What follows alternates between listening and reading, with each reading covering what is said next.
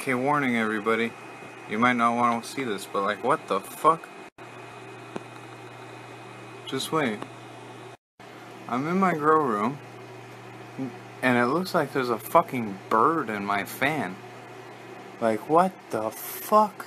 We're in my basement. How the hell did that get down here? Like, look, the grow room's here in the corner.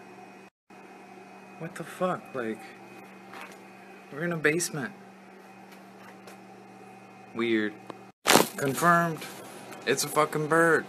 What the fuck, guys? How did a bird get in my basement? There's no windows down here. You think it came in my chimney? Warning, I'm about to show the bird. If you don't want to see it, click away. What the fuck, guys? How did that get in there? That fan's dead. Need a new one. Damn.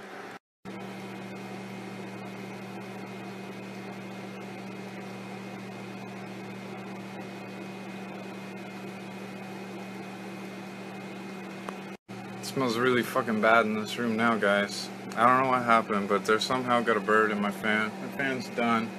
It smells like burnt bird in here. I'm taking the fan down. Like, we, we can't use that no more. I don't know what happened, guys. Fuck.